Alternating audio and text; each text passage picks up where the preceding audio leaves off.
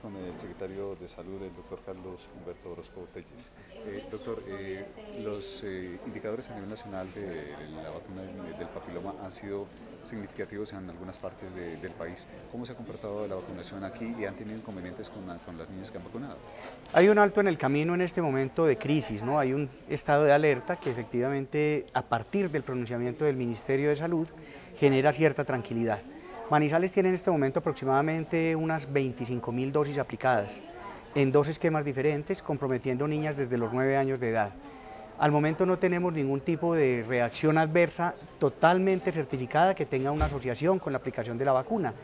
Un primer reporte que de hace unos tres meses aproximadamente generó una investigación que descartó de plano que hubiese alguna relación con la aplicación de la vacuna. En segundo lugar, a raíz de esta alerta epidemiológica, Dos familias se han acercado, una procedente de la ciudad de Cartagena, otra procedente de la ciudad de Manizales, y se han hecho los reportes inmediatos al Ministerio de Salud.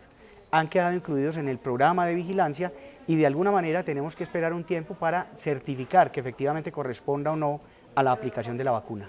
Eh, secretario, los temores que se han despertado, digamos, que por algunos rumores presentados en otras regiones del país, pues deben ser también comparados con los beneficios que trae este biológico. ¿Qué previene? Porque la gente a veces no eh, conoce el alcance que puede tener una vacuna de este tipo. Insistimos en que no es una vacuna que se haya aplicado de manera caprichosa, sino que corresponde a una estrategia mundial dada la alta mortalidad del virus papiloma humano en relación con el cáncer de cuello uterino. Se han aplicado aproximadamente 65 millones de dosis en el mundo. Y la característica fundamental es que no se han aplicado en países del tercer mundo, sino que la iniciativa arranca específicamente en países primermundistas, Estados Unidos, Japón, entre otros países de la órbita europea, han sido los pioneros en la aplicación de este biológico.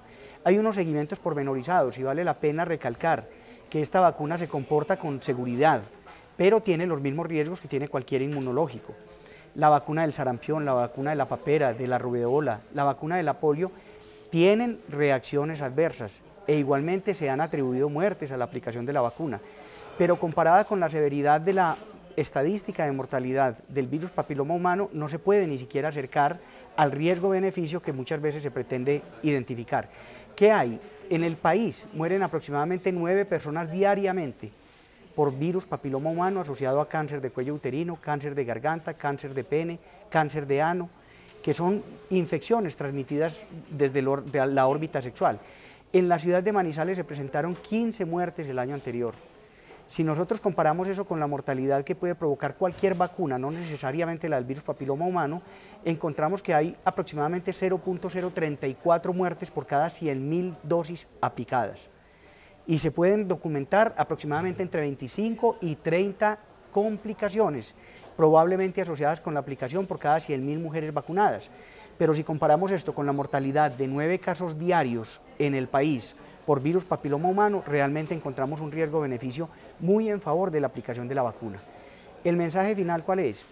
Tener cierta tranquilidad, tener paciencia y entender que todos los organismos de vigilancia, de inspección del sistema de salud de la ciudad, del departamento y del país, estamos atentos y que en el momento en que se generen algún tipo de alertas epidemiológicas que comprueben que hay daño a partir de la aplicación de la vacuna, seguramente el Ministerio dará la orden de suprimir, de suspender y de evitar que se continúen los esquemas. Pero por ahora hay una tranquilidad específica dada no solamente desde la Organización Mundial de la Salud, sino amparada por la OPS y por el Ministerio de Salud, en el sentido de que estamos con un biológico que genera la seguridad suficiente para continuar con el esquema. En varias partes del eje cafetero ha habido resistencia por parte de los padres de seguir vacunando a sus hijos. En Caldas, ah, eh, ¿cuál, es el, o en Manizales específicamente, cuál es el limitador? Hay movimientos, hay médicos inclusive que preconizan la inseguridad de la vacuna. Hay colegios que han generado cierta resistencia a la aplicación del biológico. Aquí hay una lucha importante que de alguna manera tiene que fortalecerse a partir de esta alerta epidemiológica, que es una alerta que, reitero, el Ministerio ha determinado con precisión que no existe ninguna causa directa relacionada de la vacuna con la crisis de las 240 niñas que han tenido algún tipo de comportamiento o de cambios en su estado de salud. El Ministerio pide 30 días más para aclarar cuál es el origen de esta crisis que se ha generado en Carmen de Bolívar. Ha solicitado igualmente ese tiempo para descartar cuál es la relación que existe entre la presencia de metales pesados y las crisis que se han generado. En la vacuna no hay plomo, que es la primera atribución. En la vacuna hay aluminio, pero para generar toxicidad por aluminio se necesitan dosis absolutamente altas. El aluminio es fácilmente eliminado por el organismo y está presente en muchos productos. El gel hidróxido de aluminio, que es la milanta, contiene en unas cantidades que fácilmente las puede eliminar el organismo. El acetato de aluminio está presente en las cremas para los bebés, para la pañalitis, está presente en muchos eh, desodorantes, pero algo que muchas veces no caemos en cuenta, las ollas de aluminio liberan aluminio y todos los días que comemos la sopita o el sancocho estamos consumiendo residuos de aluminio. Por lo tanto, tampoco se puede atribuir que este diluyente que actúa como preservativo en la vacuna tenga como consecuencia una intoxicación aguda por aluminio. No puede ser pobre vacunar.